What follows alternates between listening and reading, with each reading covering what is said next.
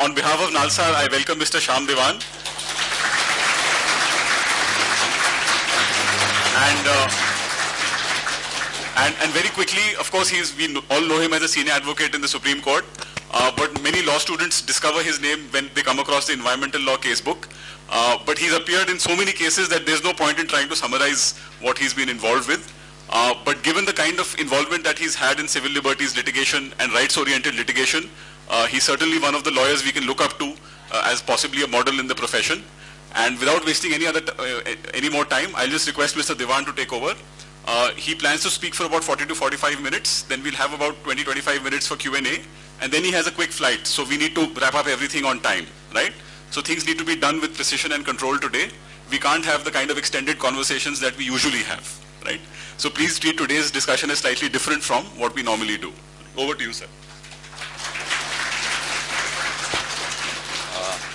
Thanks very much. And I don't know if someone's going to give me a warning at 5 to noon, or maybe I'll just speed up. Yeah, well, I have a clock here, so that's fine. Uh, I was uh, informed in the mail which invited me about the recording. So having regard to the perils of recording a speech, I have a text here before me and I'll depart only occasionally from it. Uh, I'm going to speak to you about a pending case uh, and that causes considerable anxiety for any practitioner who has to face a judge and uh, you know, who accidentally may have heard something which I might have said. So going to my text, uh, I want to thank the organizers and uh, greetings to the faculty and all of you ladies and gentlemen. The subject, which is essentially Aadhaar and its constitutional impacts, is something which is going to, which is, it's a program really which seeks to, in a manner of speaking, redesign the future. And uh, that's what the thrust of this lecture is about. Uh, do we have alternative futures when it comes to aspects of a program which are so invasive that they could potentially really alter the relationship between the citizen and the state. But to put matters in perspective, let me begin with the theoretical physicist Carlo Rovelli's observation on our species. Rovelli, in his splendid and brief, slim, slim book, Seven Brief Lessons on Physics, suggests that our species will not last long. He argues that we do not seem to be made of the stuff that has allowed the turtle, for example, to continue to exist more or less unchanged for hundreds of millions of years for hundreds of times longer, that is, than we have been in existence. We belong to a short-lived genus of species. All our cousins are already extinct. So with this sober insight, I suggest that you don't take what I have to say particularly seriously. Transient we may be, but compared, uh, compared to the resilient Olive Ridley, but we still do in our passage have the leisure to boast. My subject today is about the tension between two boasts. The first boast is the proud heritage of constitutional governance that we inherit, enjoy, develop, and bequeath to the next generation.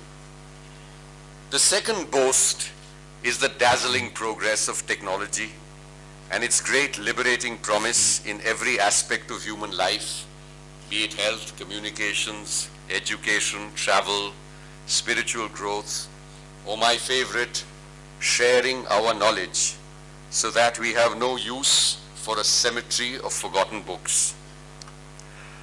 Do the Constitution and Aadhaar collide? I suspect that most of you may have a gentle sense of my bias I appear for the petitioners in a set of cases which challenge the Aadhaar program and the Aadhaar Act. But this is not because I am particularly suspicious of all new technologies. I agree with Peter Huber when he argues that the path to safer existence lies in fewer, not more legal constraints on those whose genius allows us to replace old and grave risks with less grave new ones. Recalling Shakespeare, Huber writes, Hotspur was right. It is out of the nettle danger that we pluck the flower safety. Every new technology when adopted poses dangers and causes disruptions. What is it about Aadhaar that undermines core constitutional values? The Aadhaar Act 2016 seeks to harness the magic of biometrics to deliver services to India's vast citizenry comprising over 1.25 billion people and growing. Simply put, it mandates the world's biggest biometric database while raising serious privacy concerns. This law validates a biometric collection program that the government conceived in 2009. The program has operated for several years under shadowy executive orders that empowered a small department of the government to sweep up biometric information from residents without counseling them on the impact of their actions. The Aadhaar Act is intended to provide a veneer of respectability and a legal prop to this program. The Aadhaar program and now the umbrella statute are under challenge before the Supreme Court in a batch of petitions. All of you are aware of the recent privacy judgment rendered by a nine-judge constitution bench. The judgment was an offshoot of the Aadhaar case. The Supreme Court will soon decide on the validity of the government actions and the constitutionality of the legislation. This could happen as early as November 2017, but as you all know, expedition is not necessarily a forte of the Indian judiciary. While the petitions before the Supreme Court bristle with several complex issues, here I propose to outline the program and alert you to its potential impact on civil liberties, political rights, privacy, and the freedoms that may be endangered. Indeed, this project is potentially so invasive and disruptive that it shakes the foundations of limited government and permanently alters the relationship between citizen and Indian state, between each one of you and the state in which you will live. The expression Aadhaar means base or foundation in Hindi, but in Gujarati and occasionally in Hindi as well, it could also mean crutch or support. This is ironic because these shades of meaning stake out competing visions.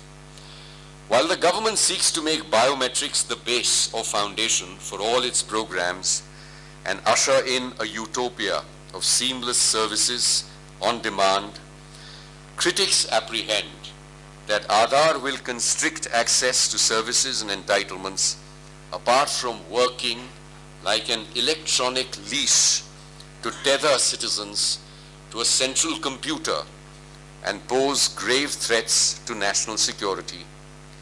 In this dystopia, Aadhaar is a crutch on which the citizen must lean. Aadhaar is the brand and logo of the Unite, Unique Identification Authority of India, UIDAI, an administrative body created by government on 28th January 2009. The Aadhaar number, as you're all aware, is a random, unique 12-digit figure issued to each person who successfully enrolls. Although until 2016, there was no specific legislative or even administrative notification that permit, permitted UIDAI to collect or use biometric information. The government in its role of a benign benefactor aggressively promoted the project, assuring citizens that this would eliminate red tape and petty corruption. UIDAI, headed by a charismatic leader of India's software industry, packaged the initiative as a cure for ghost recipients of government pensions and subsidies and an antidote to dubious agents who skimmed away a part of the subsidy before it reached the beneficiary. What are biometrics? Biometrics are distinctive measurable characteristics of a person that may be used to label and mark the individual. Biometric indicators include DNA, palm prints, and each individual's distinctive voice and gait. The biometric information being collected by UIDAI comprises a facial photograph of the individual, all 10 fingerprints, and a scan of both irises. UIDAI encrypts and stores this information in a vast data bank. Biometric information of an, in- of an individual is integral to his or her body. The right to bodily integrity is so fundamental that we frequently take it for granted in the rush and tumble of our busy lives. In a system that respects human rights and an individual's privacy, unlike a totalitarian state, eventual control over biometric information ought to remain with the individual. Aadhaar alters the equation. It assumes that eminent domain extends over a person's body. Your fingerprints are mine, the state says.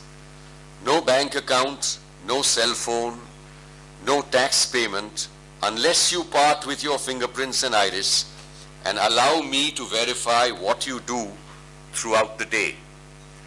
In a hyperconnected, wired world, retaining autonomy and dominion over biometric information is crucial for enjoying, enjoying privacy.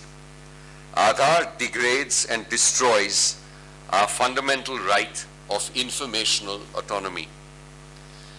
The procedure adopted by UIDAI is casual.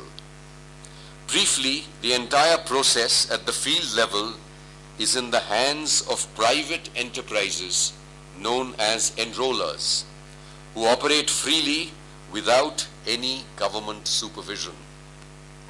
They comprise an assortment of trusts, societies, proprietary concerns, partnerships, and companies. The biometric information of each enrollee that set of valuable parameters that we ought to most fiercely guard is spirited out without any counseling on the benefits and pitfalls of parting with the biometric information. The biometrics are initially captured by private hands before being transmitted to the UIDAI central repository, which, is, which goes by the acronym CIDR, via a memory stick, uh, stick, courier, or by direct uploading. The UIDAI has no pact with any enrolling agency. The loose relationship linking UIDAI to the collection of biometric data is through memorandums of understanding between UIDAI and state governments or departments known as registrars. It is these registrars who engage private sector enrollment agencies.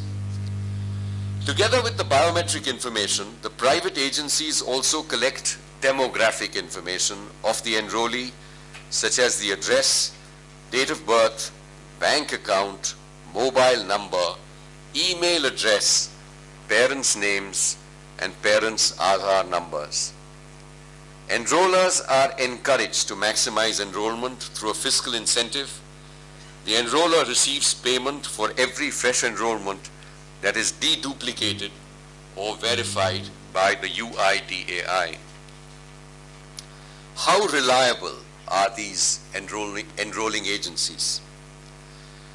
On 10th April 2017, the Union Minister for Information and Technology informed the Rajya Sabha, we have cancelled and blacklisted 34,000 operators who tried to pollute the system and tried to make fake Aadhaar cards. Just imagine, your most valuable private information is being given over your phone numbers, your, I mean, the biometric data, let's assume for a moment, is encrypted. But you're required at the time of enrollment to part with your bank statement or your credit card statement for proof of address and for proof of identity, other material documents. And whose hands do they go in? Do they go into the government's hands? They do not. They go into a private enrollment agency's hands who can compile the data from that particular information and it's very, very valuable commercial data which he or she can sell. And uh, what's the reliability factor? Well, the government itself said that 34,000 operators they've cancelled. These are operators who are blacklisted, mind you, who the government doesn't even directly control. They don't even have a contract with these particular enrollers. They have this loose arrangement I mentioned called memorandums of understanding with state governments and registrars. And then those registrars have some arrangement with the enrollers. So it's an absolute free for all in terms of this most valuable and precious information of each one of us in terms of informational autonomy, of, in terms of informational control, in terms of privacy. Upon receiving the biometric information, the process of deduplication, which is undertaken to ensure that the same individual is not issued two Aadhaar numbers, is carried out by foreign contractors who exercise proprietary rights over the technology that they employ.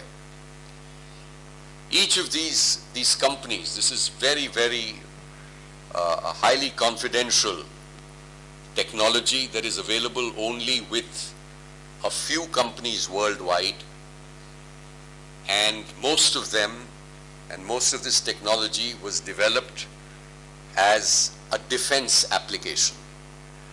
So these companies, which are overseas companies, are closely tied with foreign governments and with foreign intelligence agencies. We've enrolled these people. It's not as if the source code or anything of that is owned by the government of India. There are contracts. Those contracts allow these international agencies to use data. Those are the sorts of things which we've placed before the Supreme Court. So there's a serious, very serious national security element over here as to who's running the show and who has this most valuable information of the Indian citizenry. The Aadhaar verification system works online through mobile telecommunication networks. The service provider, say a bank or a supplier of a cooking gas cylinder, reads the customer's fingerprint on a small device. This fingerprint reader may have a GPS locator by which its location can be pinpointed. The biometric identification is confirmed against the data stored by UIDAI in its central depository and a real-time confirmation is issued about the existence of the person confirming or denying if she is an impostor. UIDAI expects scores of apps to be developed that will employ Aadhaar as the verification platform or gatekeeper. There are scores of gates, both visible and invisible, that we walk through each day.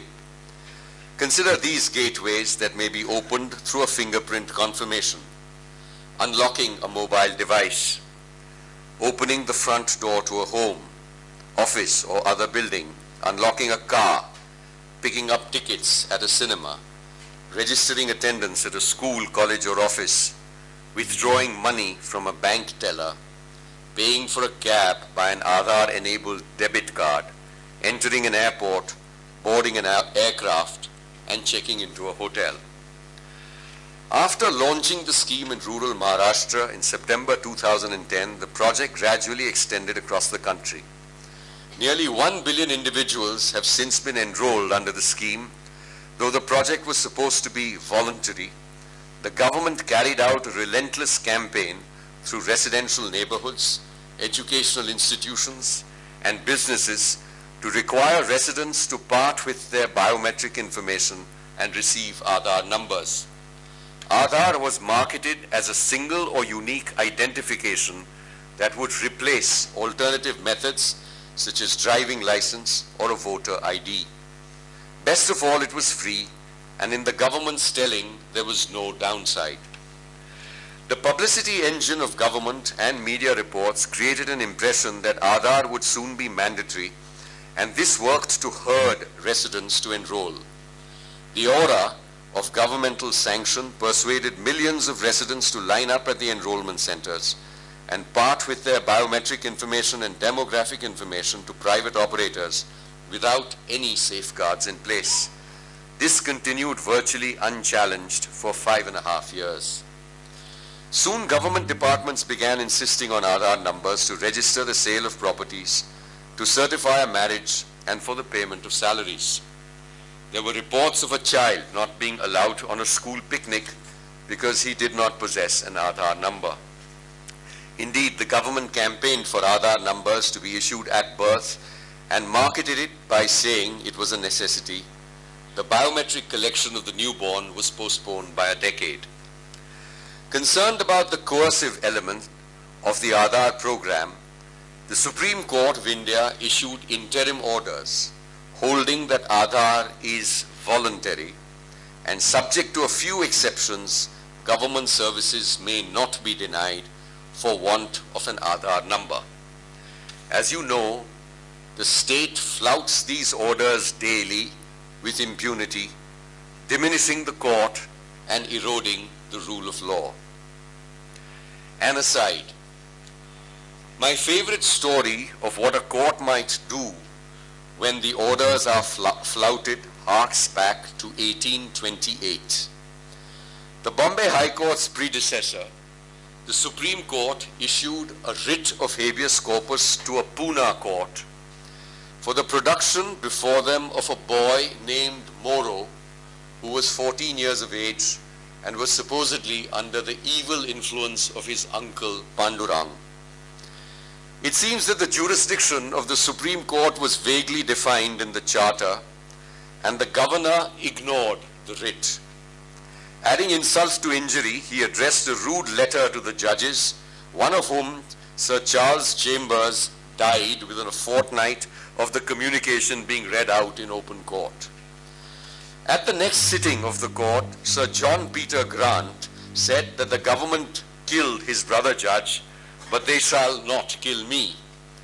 Finding that the civil authorities refused to obey the writ, Sir Grant took the extreme measure of locking up the High Court and suspending its functions for five months. As P.B. Vachha recalls in his rich book, Famous Judges, Lawyers and Cases of Bombay, the episode struck a blow for judicial independence and the stock of the court soared in the eyes of the citizens. Although the Privy Council reversed the Bombay court on the ground that its writ jurisdiction did not extend to Pune, the episode is an important landmark in the evolution of our independent judiciary. Now that the project is supported by the Aadhaar Act 2016, the government defends its program at all levels. According to the state, there is nothing wrong with collecting biometric data of all residents, particularly since the program is voluntary. The Aadhaar number provides an identification for millions of Indians who otherwise were isolated from the economy for a lack of genuine identity card an identity that more privileged Indians had in the form of a passport or a driving license. To assuage privacy concerns, the government reassured the public that UIDAI only provides online verification, where the Aadhaar authentication device responds with a yes-no, keeping all personal identity information secret. How voluntary is voluntary? It is voluntary, but you must have an Aadhaar if you pay income tax or want to appear for the CBSE exam or want a cell phone or want a bank account. And here I quote Lord Atkin from his famous dissent in Liversidge versus Anderson. I know of only one authority which might justify the suggested method of construction. When I use a word, Humpty Dumpty said, in rather scornful tone, it means just what I choose it to mean, neither more nor less. The question is, said Alice, whether you can make words mean so many different things. The question is, said Humpty Dumpty, which is to be master, that's all. The government's case is pinned on a Humpty Dumpty interpretation. A word means what I choose it to mean. Voluntary means compulsory. We put forward this point in the Pan Aadhaar link case and the Supreme Court avoided answering the issue by ignoring this inconvenient argument. The Binoy Viswa, uh, Viswam case, which is the Pan Aadhaar link case, suffered an early demise and stands overruled by the Constitution bench in Shayara Bano on this particular aspect of whether something that is arbitrary can be uh, simply arbitrary can be struck down under Article 14 or do you have to say something more than arbitrary? So this gives you also a sense of uh, the rather short shelf life of Supreme Court judgments on occasion. This one uh, sort of expiry date was less than two months of it being issued, the judgment. The Constitution of India, like other constitutions that set out the basic law for democratic government, governance, employs an array of checks and balances to ensure an open and accountable government where each wing of government performs its actions for the benefits of people within its sphere of responsibility. The checks and balances are many, and amongst them are the respective roles assigned by the Constitution to the legislature, the executive, and the judiciary. Provisions in the Constitution, such as the Fundamental Rights chapter in Part 3, circumscribe the authority of the state. These limitations on power of the state support the notion of constitutionalism or limited government. In this sense, the expression limited government means that each wing of government is restricted by the provisions of the Constitution and other laws and is required to operate within its legitimate sphere. Exceeding these limits would render the action of the state ultra vires the Constitution or a particular law. The second and broader connotation of limited government is the idea of a limited government qua the citizenry as a whole. This means that there are certain things that the state simply cannot do because the action fundamentally alters the relationship between the citizen and the state. The large-scale collection of biometric data, including fingerprints, storing it at a central depository per se puts the state in an extremely dominant position in relation to the citizen. Biometric data belongs to the concerned individual and I believe the state cannot collect or retain it to be used against the individual or to his or her detriment in the future. Further, the state cannot put itself in a position where it has the ability to track an individual and engage in surveillance. The state can neither deprive a citizen of her rights nor make them conditional to parting with her biometrics. The third notion of limited government means that individually every citizen and collectively the citizenry are entitled to live, work and enjoy their varied lives without being under the continuous gaze of the state. The Constitution of India is a compact between the people of India and the state.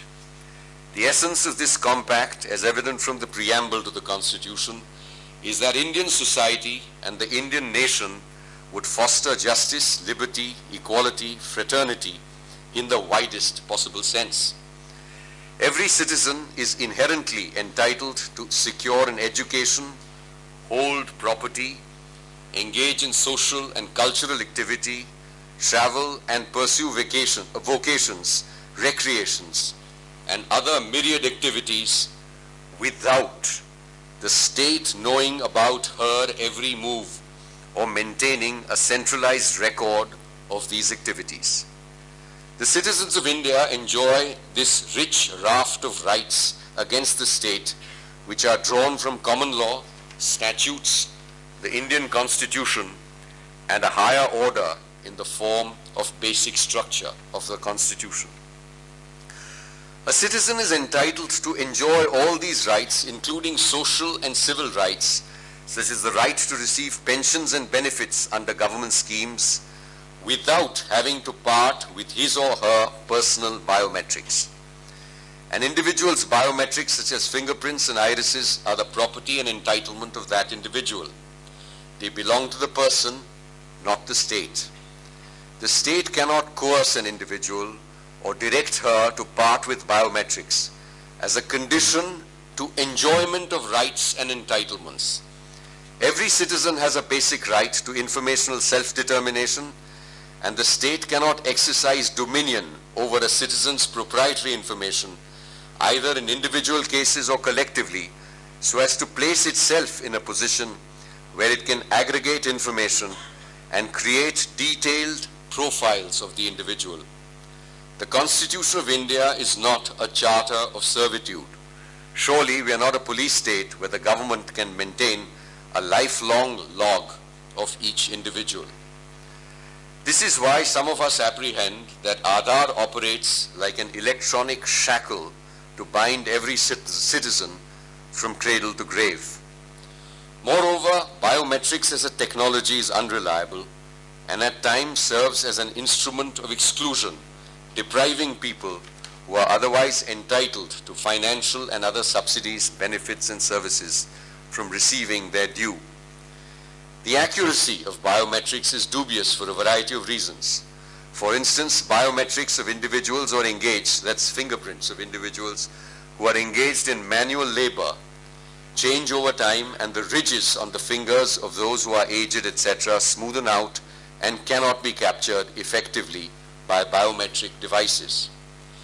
The Aadhaar Act is designed to facilitate and encourage private sector operators to create applications and depend upon the Aadhaar platform for purposes of authentication.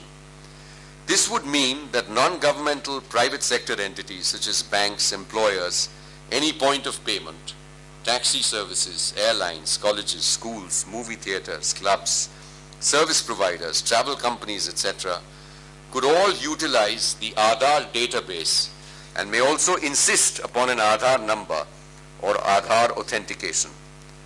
Consequently, at every stage in an individual's life, his or her presence could be traced to a real-time location.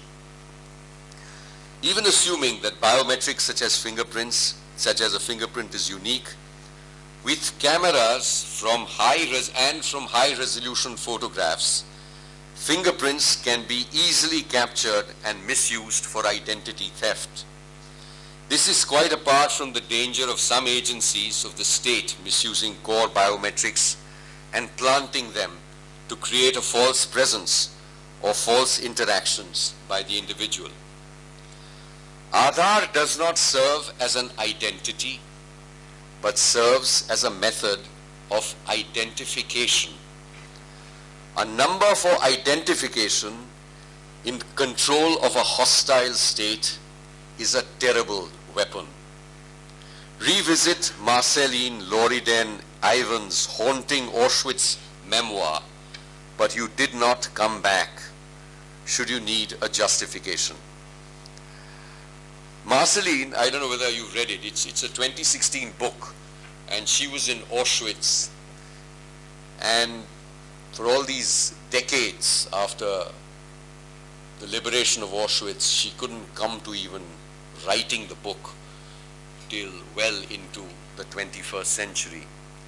And it was written in French and the translation came out last year. And it's about her father having promised her that I will come back. And it's about both of them being reduced to a number and both of them being in different parts of the camp at Auschwitz and not being allowed to speak to each other or communicate with each other, even though this little girl could see her father across the fence. But they were in the eye of the state at that time, just a number. And a number not for identity, but a number for identification. It's a slim book, read it. It's, it's, it's a very moving memoir. Every interaction of the citizen with the state and a service provider requires identification, is sought to be captured and retained by the government at a central base. A whole ecology would develop that would require reference to this central database on multiple occasions during the day.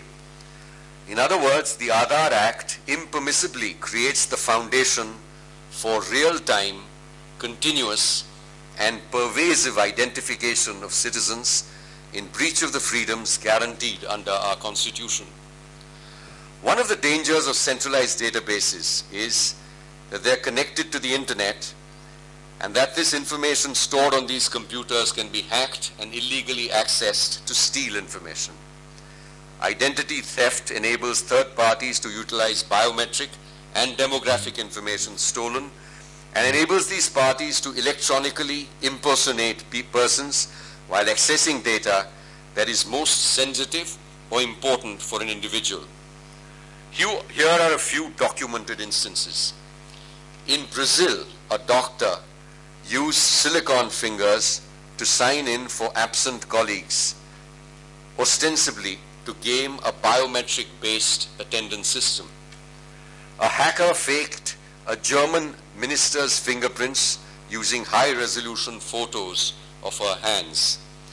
And the FBI misidentified one Mr. Mayfield as the culprit in the Madrid bombing case by incorrectly matching his fingerprints against the suspects for which Mr. Mayfield later won a civil suit against the FBI in 2006.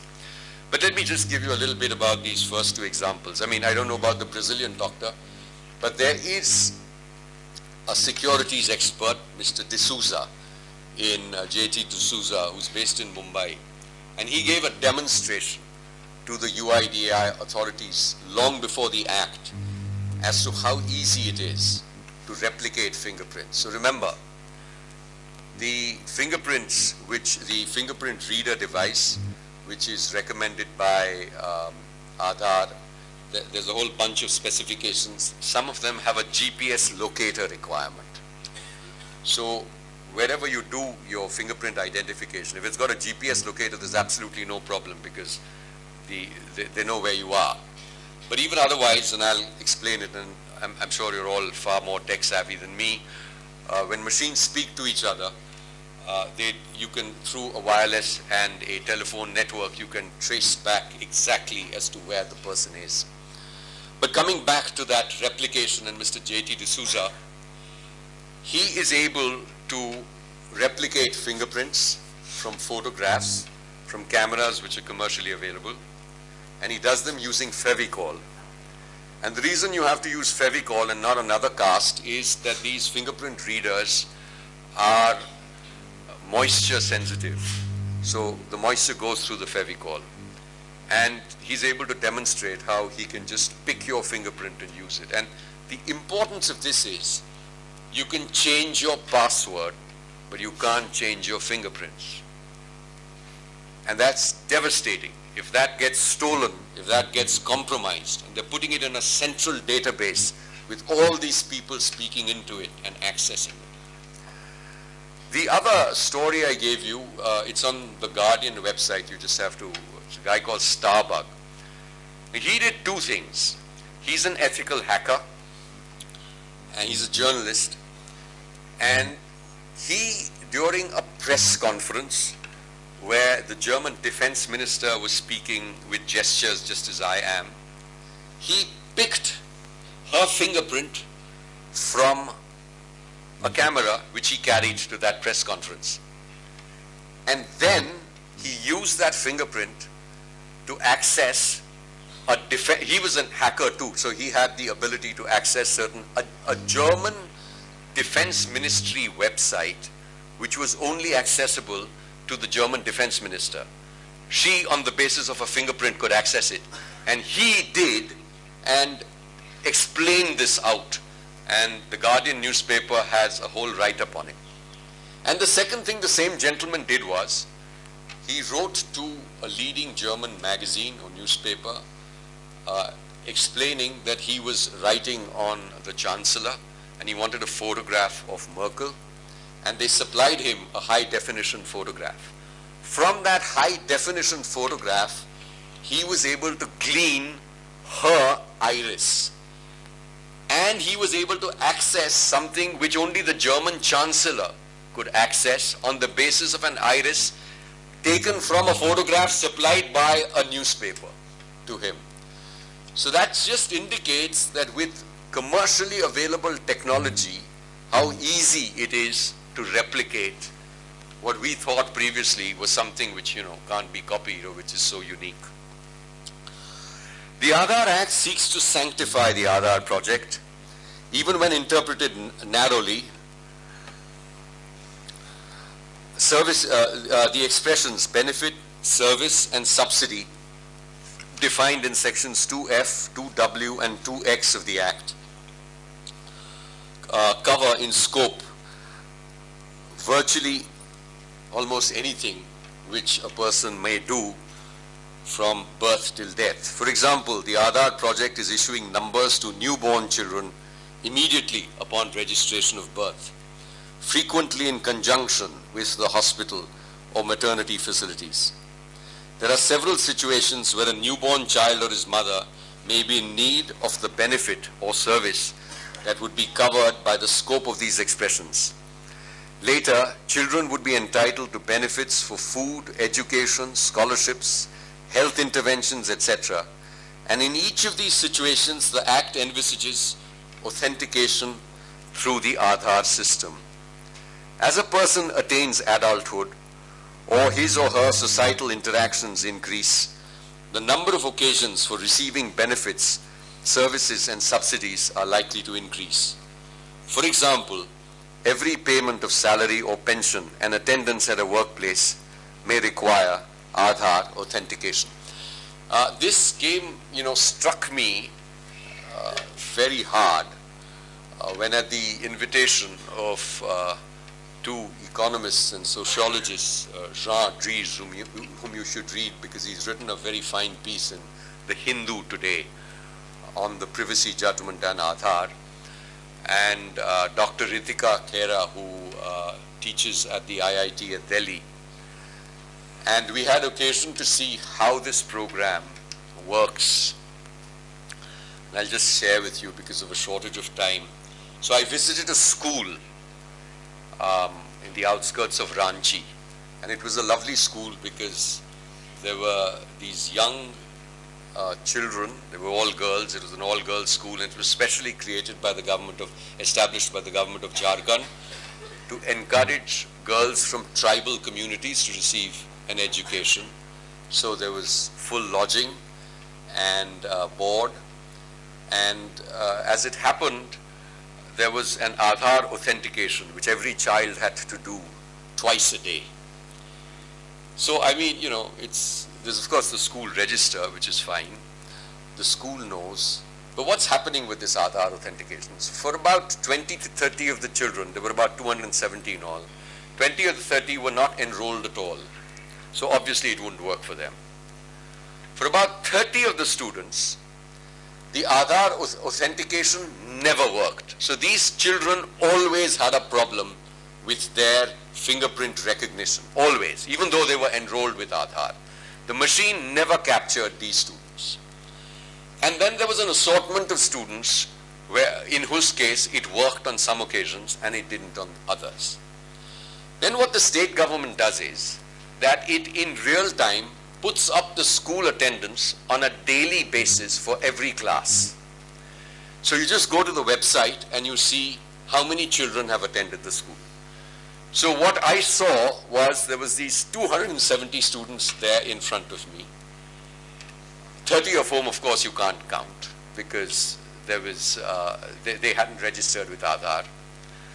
But the number which was showing on the website, and all these kids, this was, a, you know, past noon, so they'd gone through that first cycle of verification, was a hundred short. Now what government plans to do is, they say that look, we are, we are subsidizing a midday meal plan.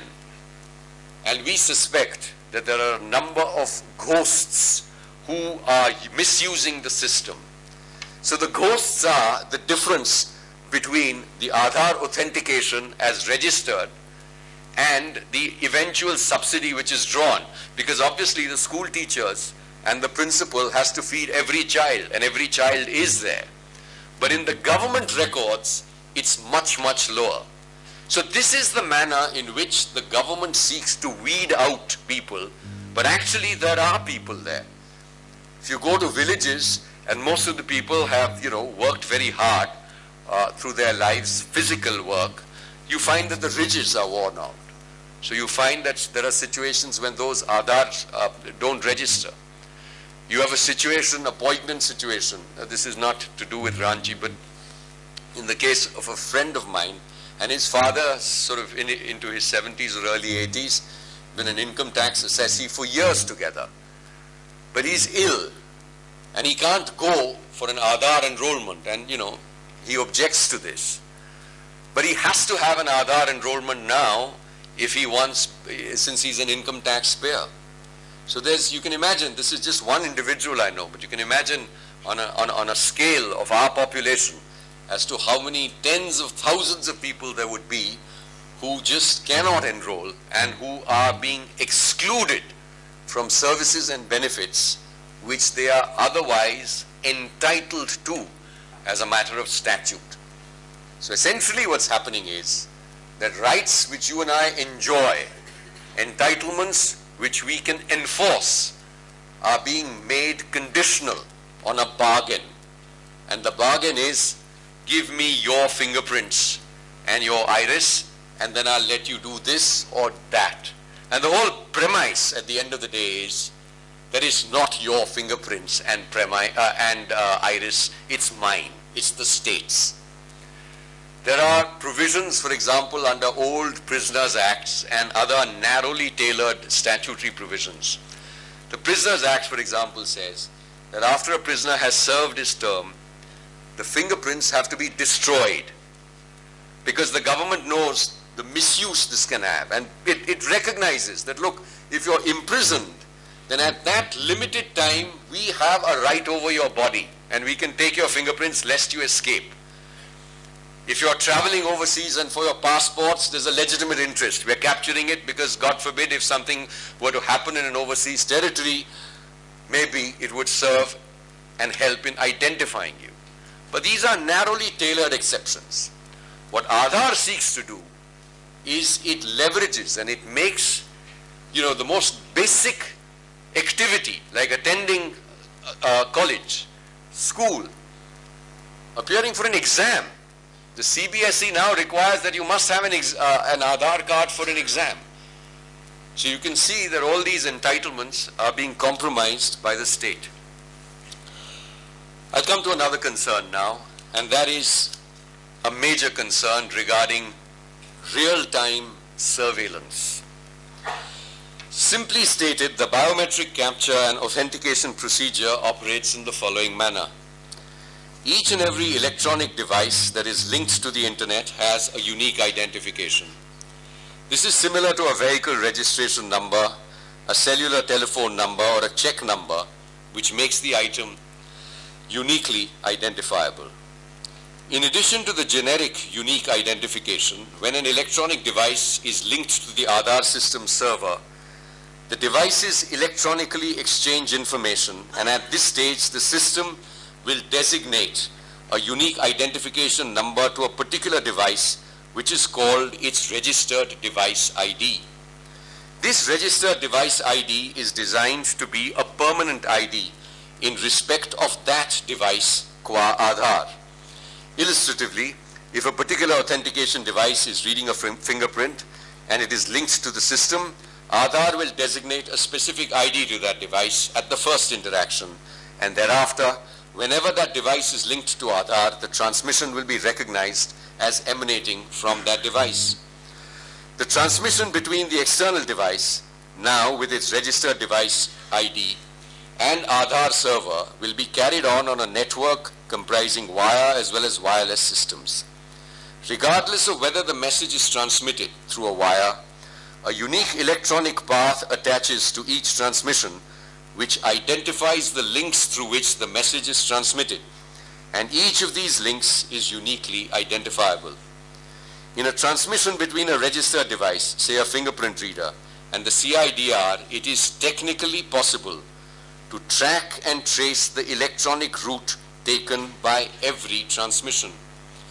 This implies that it is possible to electronically track down the location of every registered device in real time. This is because the authentication transaction comprising a cycle of request and response can be completed in as little time as a period of three to five seconds. Hypothetically, in a situation where Aadhaar authentication is required at the stage of, say, withdrawing money from a teller machine, clocking in at a government office, and receiving a cooking gas cylinder, it would mean that at each of these stages, the physical location as well as the broad nature of the transaction would easily be discernible by the state.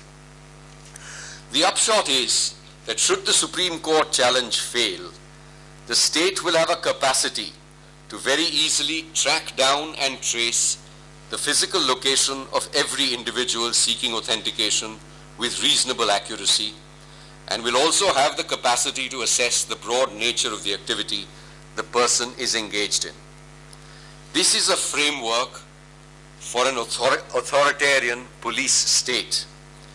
Aadhaar, I fear, will lead to the garroting of civil liberties. Intimately related to the fundamental principle that a person has full dominion and control over her core biometrics, just as she has over her body and personal autonomy, any collection of personal biometrics can only be done through an individual's free and informed consent. In contrast, 1 billion Indian citizens have been issued Aadhaar numbers without any counseling on the pitfalls and limitations of the program. Just imagine, where the enrollment takes place, there's no government officer, there's no counseling, there's no informed consent at all. The there was no statutory form, as you know, till 2016, because the Act came only in 2016. Until the statutory form came, which is for five, five and a half years, they did not even on the form which they used say that I consent to my biometrics being taken or used. It's remarkable. So there's absolutely no free consent and you've got all this sensitive information from over a billion people.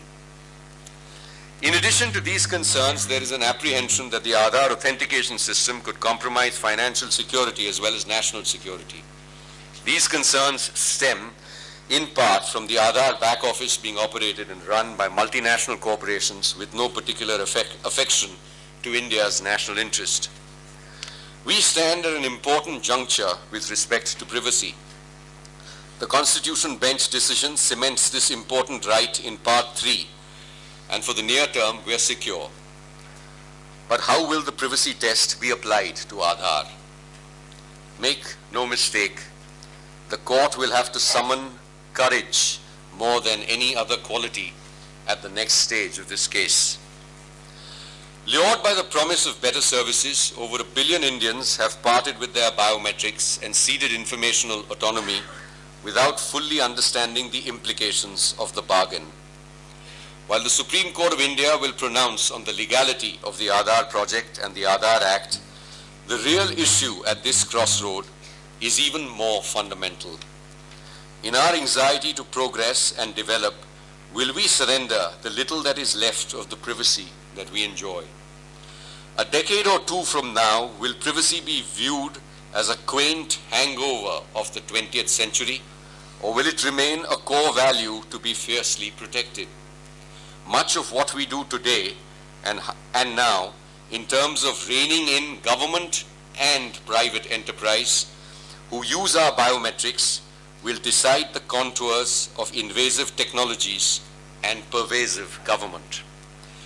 Before I end, I urge each one of you to look inward and beyond.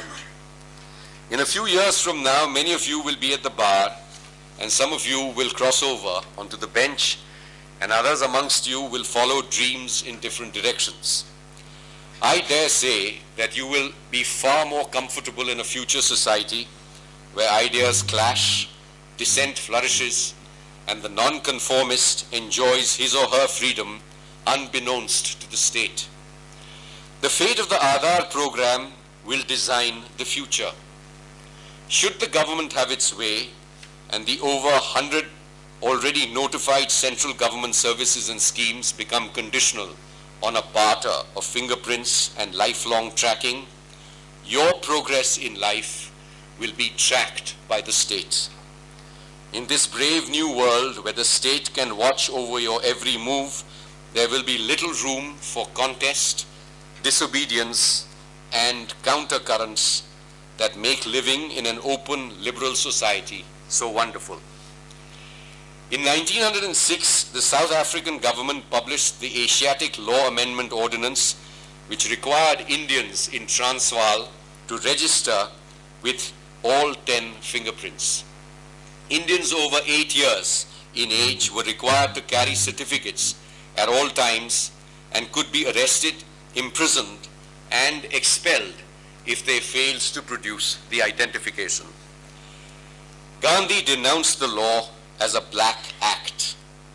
On 16th August 1908, Gandhi addressed more than 3,000 Indians assembled in Johannesburg and the protest culminated in the permits being burnt. The Indian constitution is a living bridge spanning pre-independent India and tomorrow. The promise of the preamble and the fundamental rights guaranteed in Part 3 of the Constitution are our best assurances against having to lock the court as Sir John Peter Grant did in 1828 or to burn identity cards in the Gandhi-led protest in 1908. The enigma of Aadhaar and the shades of coercion and consent will soon be debated in the Supreme Court. We will receive an answer from the court, but that too will be transient. The contours of our liberty will eventually be decided on a planetary stage. Will we as a species, with our delight for new technologies, rein in the intrusive reach of governments and corporations, or will we cede our hard-fought liberties? A verse may offer an answer. Kumbhakarna loved sleep. After Ram killed him in battle, sleep was widowed. Since then, she spends her time at lectures. Thank you very much.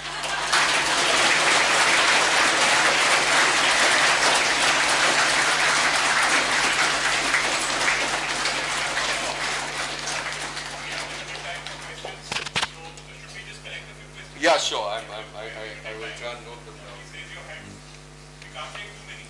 Uh, Benjamin, uh, Pepper, anybody else? Very quickly. Okay, Ashwani, over here. Benjamin, go first. Uh, so I'm Benjamin. Um, so, okay. Yeah, hi Benjamin. Um, so I have two questions primarily. The first one that you mentioned about national security and the final concluding statement about technology and gov- uh, government using our data.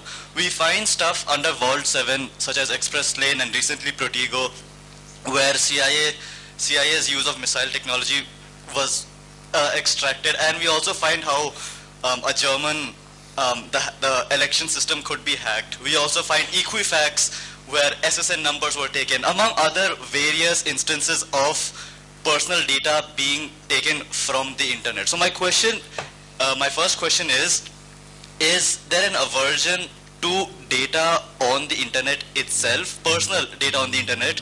Um, the present system, for instance, if we look at PDS or any other scheme, is there an aversion to putting of tying that with technology itself if there is an inherent understanding, at least by InfoSec uh, experts, that any data that's online can be taken away?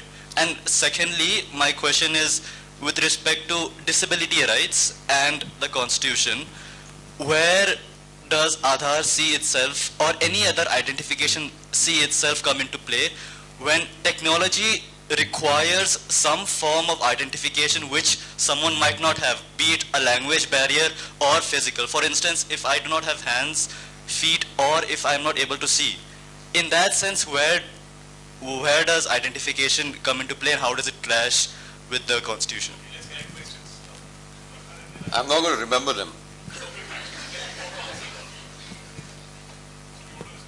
I just respond very quickly. On the disability issue, look, my own take is that the, I, I don't think Aadhaar in its conception is something malignant. I don't think it was conceived as a surveillance machinery, etc. It's about architecture.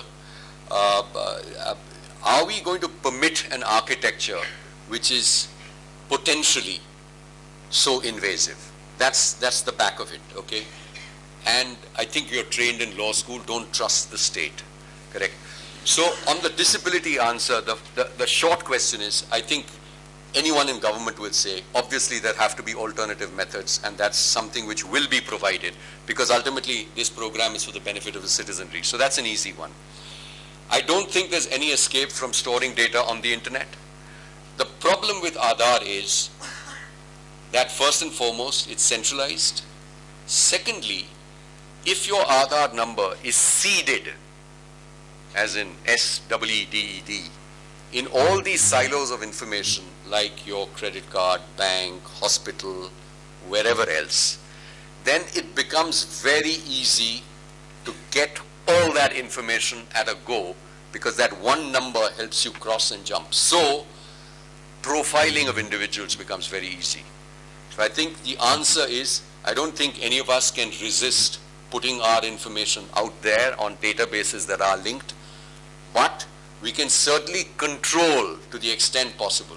And I think what Aadhaar does is, it takes away that ability to control, because while saying it's voluntary, it says you can't do any of these things without first having an Aadhaar number. Uh, hello sir, I am Prakhar Bhatnagar from second year.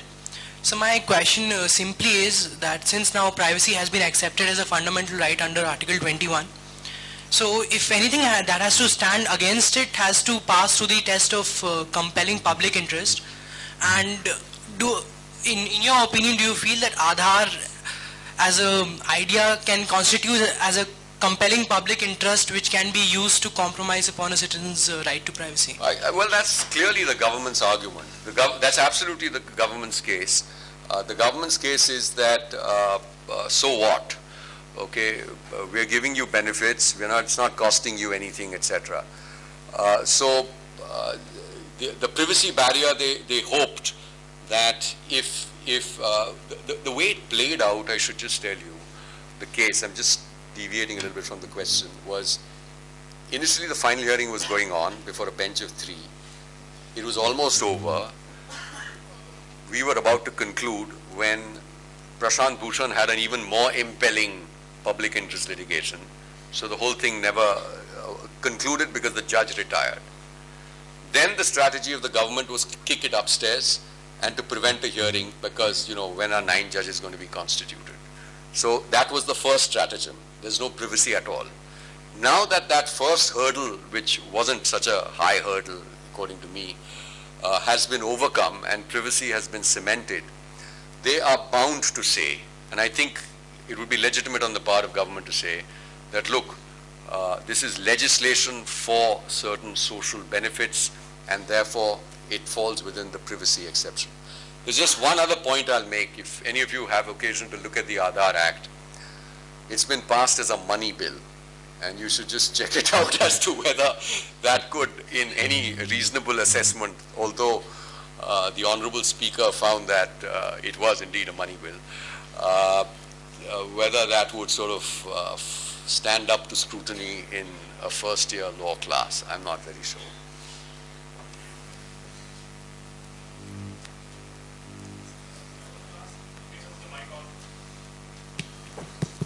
So privacy has been upheld by Supreme Court as fundamental right. So I want to ask whether privacy is uh, absolute, this fundamental right is absolute or subject to... No, it's very, it's certainly not absolute. It's subject to lots of just exceptions and carve-outs.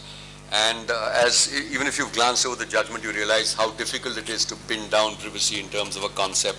It means different things at different in different situations. So I don't think anyone contends that it's absolute. It's subject to exceptions, and so the debate will be as to whether the program and the act exceeds permissible limits in terms of what government can do. Does government have to provide you with an alternative? Do we in India, under our constitution, at a minimum, have a choice in doing things differently or in another way? Can I identify or continue to identify myself on the basis of a driving license if I choose to? Sir, Satya. Okay. So, uh, thank you, sir, for a wonderful insight. Let's just uh, see this particular uh, topic from the perspective of a rural person. Let's assume that I am from, uh, actually, I am from semi-rural area. So, what people uh, from that particular background or perspective, uh, they, they don't care what Aadhaar means to them. For them, what government is doing is not, not so important. What important is their uh, services, which government, in whatever way means that they're getting, they uh, don't care much, be it demonetization or what. So there's no talk at large, like in, in, in, in especially at that particular uh, section of uh, the society, which is the major chunk. So whatever is happening in Supreme Court or uh, in the uh, uh, government offices, how and why it is not coming down. Because if we are talking in this uh, like we understand what what is privacy and everything but how it uh, and why it's not conveyed to the public at large. Because demonetization again people didn't speak at all. Yeah i'll, I'll keep off demonetization but just since this is the last question. There are a number of groups uh, where for example aruna roy and nikhil they work and you'll see their work on the web where they find that, you know, they're right there in rural Rajasthan and they find that this has become an instrument of oppression and exclusion. There are people who legitimately uh, are entitled to, for example, pension. Previously, the gentleman was coming uh, and delivering the pension to them and they were signing. Now they have to go to some central place where there's, uh, where the interconnect, where the connectivity may be bad, the electricity may not be available, and they've got to go two and three times to some, you know, district or some uh, headquarter for, so they are fine. So, there, there's, so the convenience factor, which is what the great government selling point is, uh, may over a period of time improve in terms of you know connectivity being better, etc. But with a 1.25 or whatever 1.3 billion population, exclusion is going to be at a very high level. And how can you exclude people yeah, from, I mean, a midday meal or a pension or, you know, some basic right? The, the thrust of the story is that, look, you cannot have surely a one size fits all and particularly a one size fits all where you are being asked to part with your biometric and other information. So thanks very much. It's been a pleasure.